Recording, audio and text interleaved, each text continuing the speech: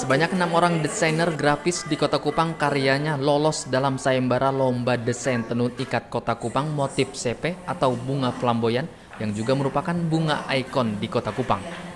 Sayembara tersebut diinisiasi Dewan Kerajinan Nasional Daerah Kota Kupang bekerja sama dengan pemerintah Kota Kupang yang telah berlangsung sejak tanggal 1 April hingga 15 Mei 2018.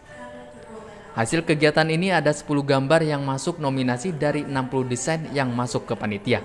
Berdasarkan keputusan Dewan Juri, akhirnya menetapkan 6 orang sebagai pemenang, antara lain juara 1 Yan Suyantik, juara 2 Leader Ismail, juara 3 Inggang Gili, juara 4 Alvano Pati, juara 5 Herman Meno, dan juara 6 Nelson Riberu. Hal itu terungkap dalam rangkaian acara penyerahan hadiah lomba berupa uang tunai dan penghargaan yang berlangsung di ruang Garuda kantor Wali Kota Kupang. Ketua Panitia Dina Takala Peta mengatakan tujuan dari kegiatan ini untuk menggali dan mengembangkan ide kreatif dari masyarakat dalam merancang motif tenun khas Kota Kupang.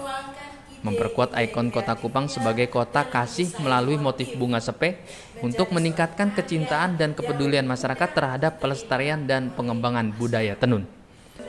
Hadir dalam kegiatan itu asisten ekonomi dan pembangunan Setda Kota Kupang, para pemimpin perangkat daerah lingkup pemerintah Kota Kupang, komunitas perupa kapur Sirih Kupang, dan para peserta lomba. Dari Kupang, Nusa Tenggara Timur, leader Ismail Tribrata TV, salam Tribrata.